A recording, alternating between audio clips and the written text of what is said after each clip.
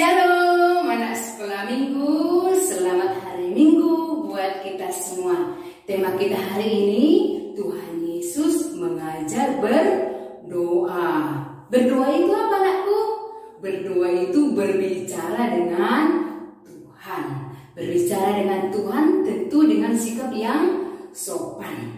Dengan berbicara dengan ketulusan hati. Nah, di dalam doa kita kita harus mengakui bahwa Dia adalah Tuhan yang sanggup menjawab dan mendengar segala doa dan permohonan kita tepat pada waktunya.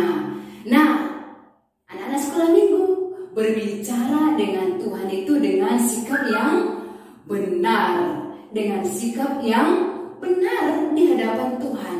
Nah, dia selalu mendengar doa kita karena kita berdoa kepada Tuhan yang luar biasa. Tepat pada waktunya jawabannya selalu baik dan baik untuk kita. Selamat mengikuti ibadah kita hari ini yang dibawakan oleh guru sekolah minggu kita.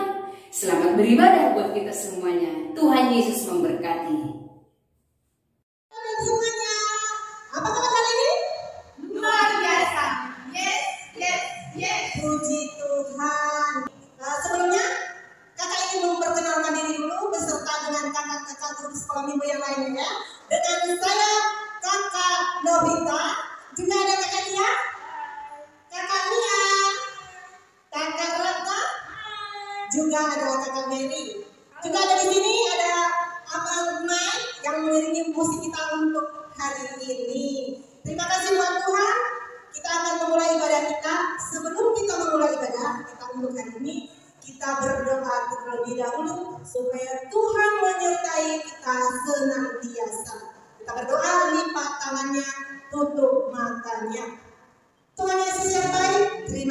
Buat hari ini. Tuhan masih menyertai kami. Tuhan masih memberikan nafas kehidupan hingga saat hari ini Tuhan Yesus. Seminggu sudah kami jalani Tuhan. Terima kasih atas penyertaan Tuhan di sampai hari ini. Tuhan Yesus yang baik, Engkau berkati orang tua kami, Engkau berkati saudara-saudara kami di mana pun mereka berada Tuhan Yesus. Tuhan Yesus yang baik, apa pun pekerjaan orang tua kami dan saudara-saudara kami, Engkau berkati Tuhan Yesus. Tuhan Yesus yang baik, kami akan memulai ibadah kami ini. Engkau hadir, Engkau berkati, Engkau Tuhan menjaga kami senantiasa Tuhan. Juga Tuhan Yesus, anak-anak kami Tuhan, adik-adik kami di rumah mereka masing-masing, Engkau berkati senantiasa beserta keluarga dan saudara-saudara Engkau berkati kami Tuhan di dalam nama Tuhan Yesus Kristus. Amin. Kita mau memuji Tuhan,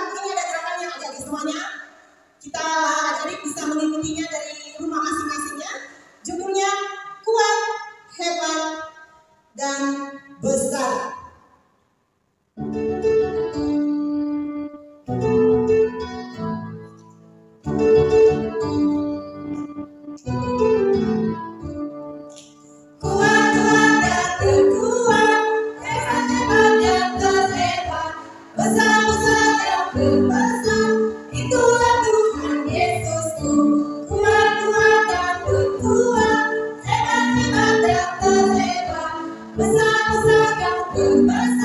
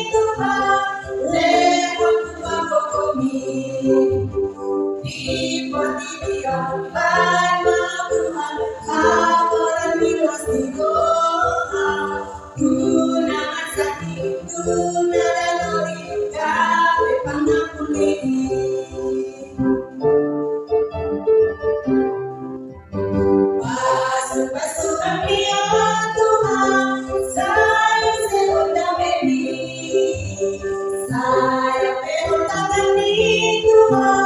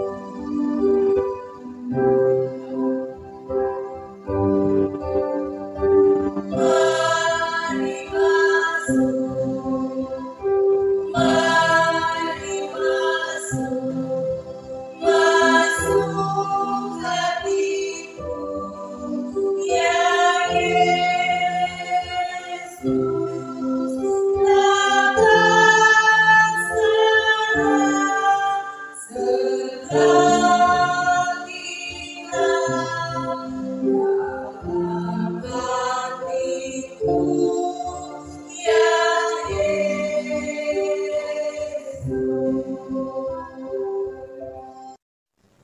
adik-adik, sudah waktunya kita mendengarkan firman Tuhan. Tadi kita sudah banyak memuji dan menyembah nama Tuhan. Nah, sebelum kita mendengarkan firman Tuhan, kita mau berdoa dulu ya.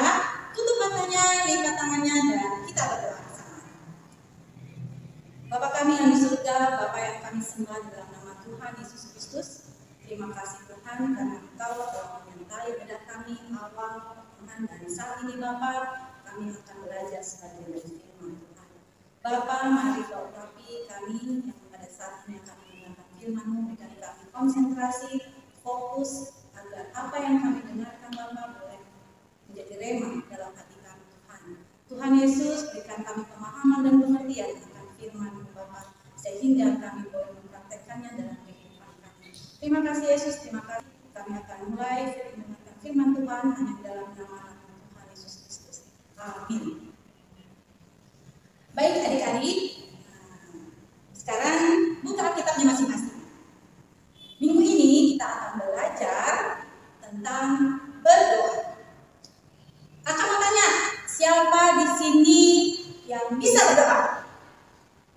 Ih, banyak ya, semua pada bisa berdoa. Puji Tuhan, berarti anak-anak sekolah minggu gaming hebat-hebat. Semuanya bisa berdoa. Tapi eh, dulu sebelum kita bisa berdoa, pernah nggak kita mengalami yang bingung ataupun susah untuk berdoa? Nah, usah khawatir adik-adik. Karena apa? Tuhan kita itu sudah mengajarkan kita tentang doa. Di dalam firman Tuhan, di situ tertulis Tuhan Yesus mengajarkan kita doa Bapa kami. Pernah dengar adik-adik? Nah, hebat ya yang sudah pernah dengar. Yang belum hafal harus dihafal ya. Karena itu adalah salah satu doa kita orang percaya kepada Tuhan kita Yesus Kristus. Oke, sekarang kita buka buku Alkitab kita.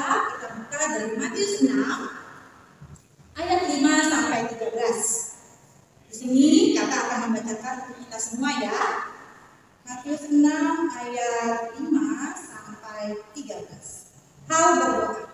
Dan apabila kamu berdoa, janganlah berdoa seperti orang munafik. Mereka suka mengucapkan doanya dengan berdiri dalam rumah-rumah ibadah dan pada tikungan-tikungan jalan raya, supaya mereka dilihat. Aku berkata kepadamu, sesungguhnya mereka sudah mendapat upahnya. Tetapi jika engkau berdoa, masuklah ke dalam kamarmu, tutuplah pintu dan berdoalah kepada Bapamu yang ada di tempat tersembunyi. Maka Bapamu yang melihat yang tersembunyi akan membalasnya. Lagi pula dalam doamu itu janganlah kamu bertele-tele seperti kebiasaan orang yang tidak mengenal Allah. Mereka menyangka bahwa karena banyaknya kata-kata doanya akan dikabulkan. Jadi janganlah kamu seperti mereka, karena Bapa mengetahui apa yang kamu perlukan sebelum kamu minta kepadanya. Karena itu berdoalah demikian.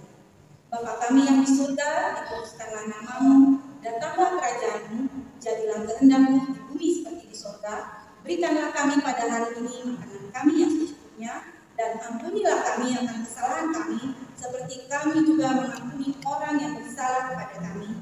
Dan janganlah membawa kami ke dalam pencobaan, tetapi lepaskanlah kami daripada yang jahat, karena Engkaulah yang punya kerajaan dan kuasa dan kemuliaan sampai selama-lamanya. Amin. Demikian uh, Tuhan yang telah kita baca tadi ya adik-adik ya. Di situ Tuhan mengajarkan kita orang-orang percaya bagaimana berdoa. Jadi kita nggak usah takut kalau mungkin kita belum punya apa namanya kata-kata yang bagus bagaimana untuk berdoa kita sudah punya doa Bapak kami. Jadi adik-adik nggak perlu lagi merasa takut. Aku tidak bisa berdoa nih. Aku tidak bisa berdoa kak. Tidak lagi ya ya. Setidaknya doa Bapak kami ini kalau kamu pelajari, kamu hafal, itu sudah mencakup semuanya. Nah, sekarang tentang doa. Apa itu doa? Adik-adik ada yang tahu? Ada yang tahu? Oke, Me, uh, kakak tahu. Apa itu doa? Doa adalah komunikasi dengan Tuhan. Kita sebagai orang percaya itu harus bisa berkomunikasi dengan siapa? Tuhan ya. Tuhan Yesus. Gimana caranya kita Itu tadi dengan berdoa. Berdoa itu uh, tidak mesti harus kita berdoa seperti tadi dikatakan ya. Dalam kita memuji Tuhan itu juga ada doa. Menyembah Tuhan juga ada doa. Jadi kan ya, jadi kita sebagai orang percaya pada Tuhan, kita harus ingat bahwa doa itu adalah komunikasi kita dengan Tuhan. Kita bisa mengenal siapa Tuhan kita. Kita bisa tahu isi hati Tuhan. Kalau kita nggak pernah berdoa, gimana kita mau mengenal isi hati Tuhan? Gimana kita mau tahu apa yang Tuhan pengen dalam hidup kita? Ya apa enggak? Nah, baik adik-adik. Dan kita harus ingat kalau doa itu adalah apa? Nafas kehidupan orang Kristen. Jadi kalau kita nggak berdoa, coba bayangkan, kita sebentar aja kita nggak bernafas. Gimana rasanya? Sama seperti doa. Melalui doa kita dikuatkan. Melalui doa kita mendapat apa? Semangat. Semangat. Kalau kita lagi ibaratnya lagi susah, lagi tidak bersemangat, tapi kita mau datang berdoa. Kita minta kepada Tuhan, Tuhan berikan saya semangat. Tuhan mampukan saya. Jadi adik-adik semua jangan malas. Lalu kakak mau cerita sedikit, uh, sedikit. Kenapa sih kita perlu berdoa? Kenapa kita perlu berdoa? Ada yang tahu? Ayo. Ada yang tahu? Kita berdoa, kita perlu berdoa untuk apa? Untuk mengenal siapa Tuhan yang kita sembah. Kalau kita nggak pernah berdoa, gimana kita mau tahu? Gimana kita mau kenal Tuhan kita? Apa yang dikendaki Tuhan dalam hidup kita? Ya adik-adik ya. Jadi untuk adik-adik semua, ayo kita belajar bersama-sama untuk berdoa. Berdoa. Mungkin kalau di rumah disuruh mamanya disuruh doa makan, itu mungkin yang paling simpel di rumah ya. Jangan malas-malasan. Oh, nggak bisa mah, abang aja. Oh nggak bisa pak, e, kakak aja. Jangan ya nak. Kita harus mau memu memulai. Nggak usah takut salah. Jangan pernah takut salah. Doa saya nggak bagus. Doa saya begini atau begitu jangan. Gak perlu yang panjang-panjang. Tuhan gak perlu doa yang panjang-panjang. Tuhan mau doa yang tuh tulus. Kalaupun kita panjang, bertele-tele, menurut kita wah bagus ya doanya. Tuhan pasti dengar. Belum tentu. Belum tentu. Tuhan mendengar doa yang tulus. Meskipun dia singkat, tapi kalau tulus, itu yang didengar Tuhan. Dan kakak percaya anak-anak itu jujur apa adanya. Tuhan aku sakit, sembuhkan aku.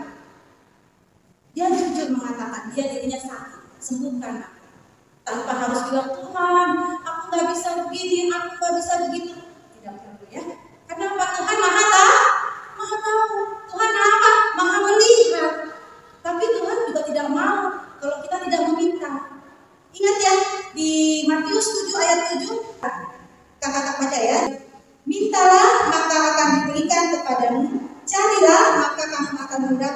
ketoklah maka pintu akan dibukakan bagi Ini harus diingat. Jadi kalau kita nggak meminta, walaupun Tuhan tahu, tapi Tuhan pengen kita meminta. Meminta sama kalau kita ke orang tua, ma, saya habis, beliin dong. Kita minta ya. Kira-kira orang tua kita kasih nggak? Kasih. Apa sih yang tidak dikasih orang tua kita kepada kita anaknya? Sama seperti bapak kita. Apa yang kita minta Tuhan kasih. Tapi Tuhan juga melihat apa yang kita minta ini sesuai nggak dengan kehendak Tuhan atau cuma untuk kesenangan kita pribadi saja. Misalnya Tuhan, aku mau eh, beli motor misalnya untuk anak-anak yang mungkin sudah SMP ya, belum waktunya umurnya mempunyai sepeda motor, tapi mereka pengen punya naik motor. Nah, kita harus lihat itu sesuai dengan kehendak Tuhan atau tidak. Apa hanya untuk gagah-gagahan kita? Oh, aku nggak bisa nih naik motor. Ya, kamu nggak bisa naik motor. Apa jadinya? Apa? Pamer. Tuhan tidak mau. Ya, jadi ketika kita berdoa selalu ingat. Makanya kalau kita berdoa pernah nggak mendengar adik-adik, biarlah kehendakmu yang ja- jadi, bukan kehendakmu yang jadi, kehendak Tuhan yang jadi. Jadi kalau kita mendengar ada orang selalu mengatakan biarlah kehendakmu yang jadi dalam hidup bukan kehendak kami. Jadi itulah maksudnya.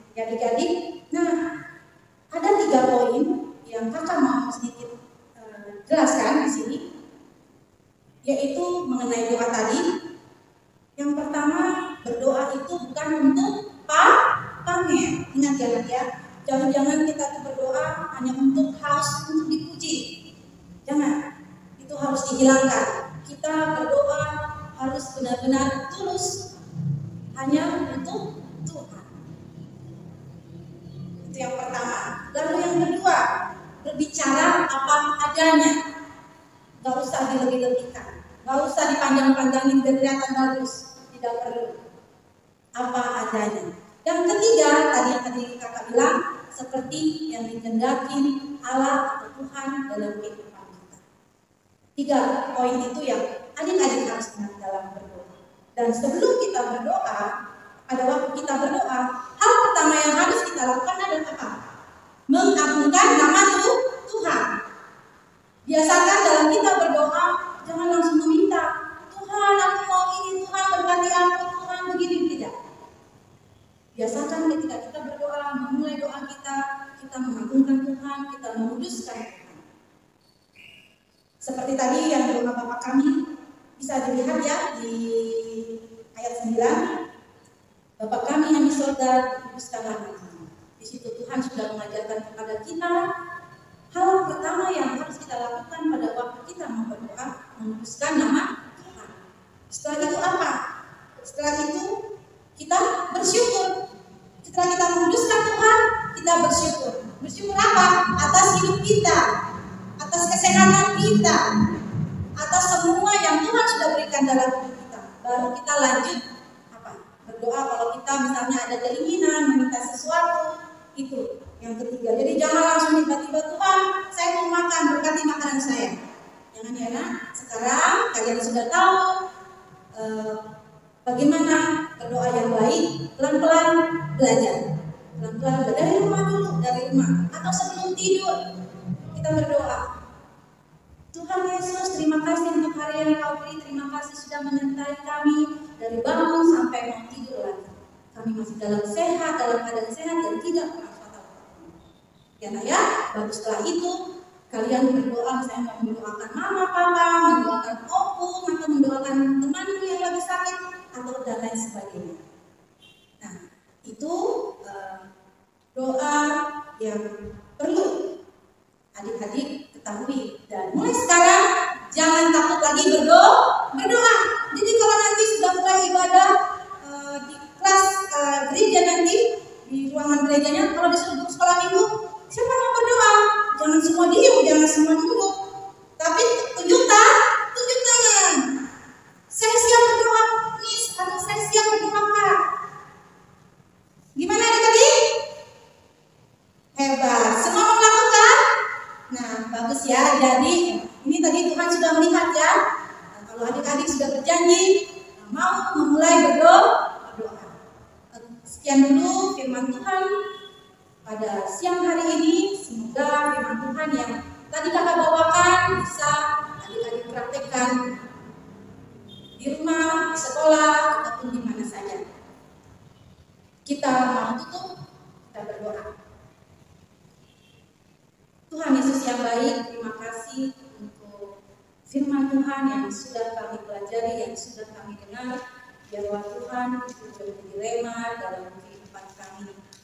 Mulai menjadi teguran, nasihat untuk kami, anak-anak Tuhan, agar kami belajar berkomunikasi yang baik dengan Engkau Tuhan. Kiranya Roh Kudusmu selalu menuntun kami agar kami dapat berkomunikasi melalui doa untuk Tuhan kami, Tuhan Yesus. Tuhan, terima kasih untuk waktu ini dan sebentar Tuhan kami akan mengakhiri ibadah kami pada saat ini. Biarlah Tuhan tetap menyertai kami untuk acara berikutnya. Di dalam nama Tuhan Yesus Kristus kami berdoa. Amin. Jadi kita berdoa doa kami. Bapa kami yang di surga, dikuduskanlah namamu, datanglah kerajaanmu, jadilah kehendakmu di bumi seperti di surga. Berilah kami pada hari ini kami yang secukupnya dan ampunilah kami akan kesalahan kami seperti kami juga mengampuni orang yang bersalah kepada kami dan janganlah bawa kami ke dalam pencobaan tapi lepaskanlah kami daripada yang jahat karena Allah yang punya kerajaan dan kuasa dan kemuliaan sampai selama-lamanya. Amin. Amin.